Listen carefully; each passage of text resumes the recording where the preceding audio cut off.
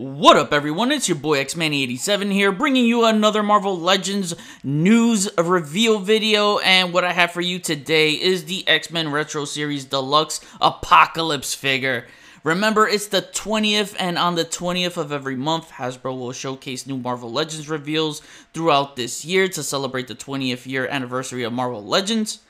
So before I get into everything, if you could please leave a thumbs up, like rating on the video, it'll show your support for my channel, and I greatly appreciate it. Now, with that said, finally, some more retro series love for the X-Men, right? I believe it's been over a year since we last got one, probably a little over a year since all the retro love shifted to Spider-Man and back to the regular superheroes card.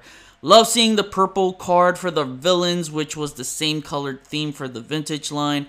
Good to see that they're staying true to that. This will be one big oversized card, so make sure you have some room to hang this on your wall if you're thinking of keeping it mint on card. It's labeled Ancient Evil above his name template, and you can see all the goodies he comes with. That's it for the packaging, now let's focus more on the figure. The Apocalypse figure is not just a straight up repaint. We get new parts on this figure, including an all new torso. This is heavily inspired from the animated series version, which sports that purple deco. So I don't think we'll be seeing a cel shaded version to this in the VHS box since it would be taller than the rest of those boxes and from my understanding the branding team wants to keep them the same size to be consistent.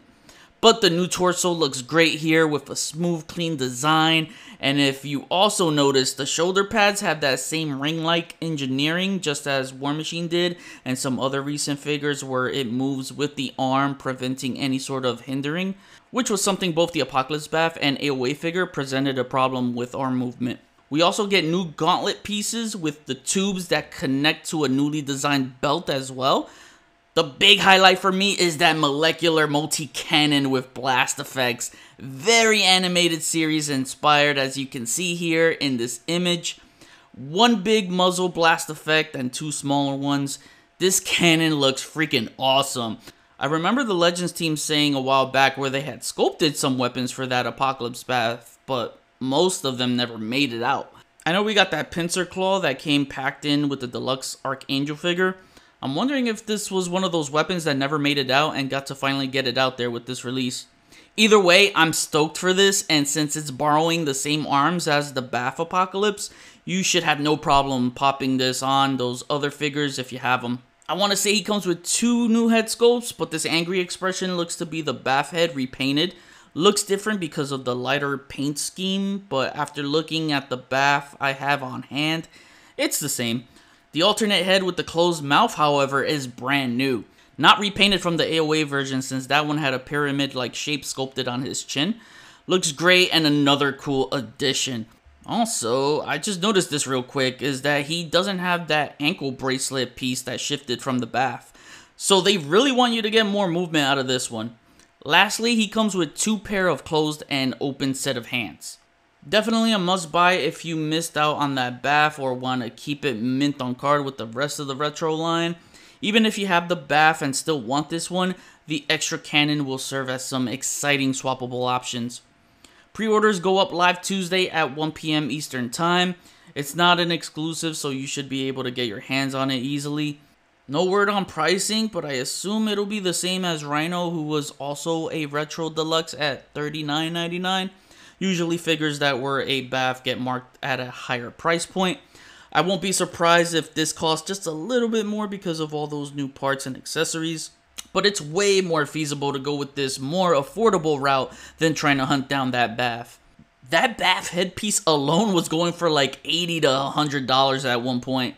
I do think this will be the last Apocalypse figure we get in this size because I have a feeling that Hasbro will want to plan out a bigger version as a HasLab for him sometime in the near future. But that's just pure speculation on my part. Over the weekend, they revealed the X-Men animated series Mystique. Didn't get to talk about it as I was busy filming and editing my collection videos. But just to quickly go over it, maybe it won't be so quick, but the VHS box is lovely as always. The figure itself is just a repainted version of the Walgreens exclusive.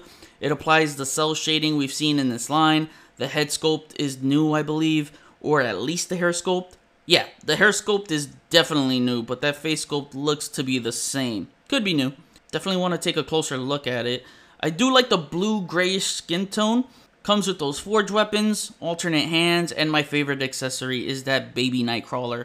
Good way to reuse that baby Hulk from the Old Man Logan 2 pack. This is a cop if you are getting everyone in this line, but if you're not and you're looking for a definitive Mystique, even if you missed out on that Walgreens version, you can pass on this one. I have a feeling we'll get an updated classic comic Mystique.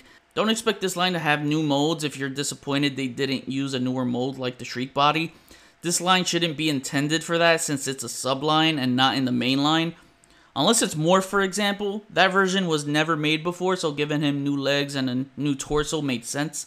Only a few parts will be new, like certain accessories such as Wolverine's claws and picture frame, and some new heads like that Wolverine too but not new molds. I think some fans would have been pissed if this subline had all new updated body molds before getting any updates in the main line, having to wait forever to get an updated version or not getting one at all. Just because I know there are those that hate the cel shading, which I don't understand as it's only for this line. Makes sense for this line to have it since it's based off that medium which was heavy on cel shading. It's not like they're pouring all of that shading into the main line. I know you can't please everyone, but again, it's its own thing.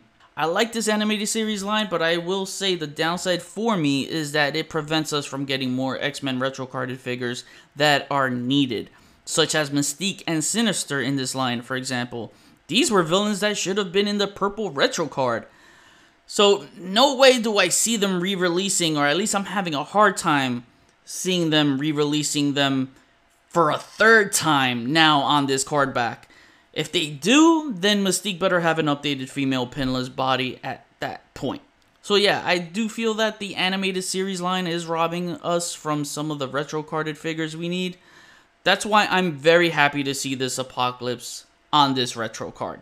Anyways, I finished editing my X-Men collection video last night, so be on the lookout for that to drop tonight at 8 p.m. Eastern Time. Can't wait for y'all to watch that. Now I kick it back to you. What do you guys think of this new Apocalypse figure? Are you down with it? Because I'm with it. Also, let me know your thoughts on the animated series Mystique figure too. Comment below, let me know, we'll chat about it. As always, follow me on Instagram at xmanny87. Hit the notification bell so you always know when my latest videos are up. Share and subscribe if you're new. See you on the next video. Peace, peace.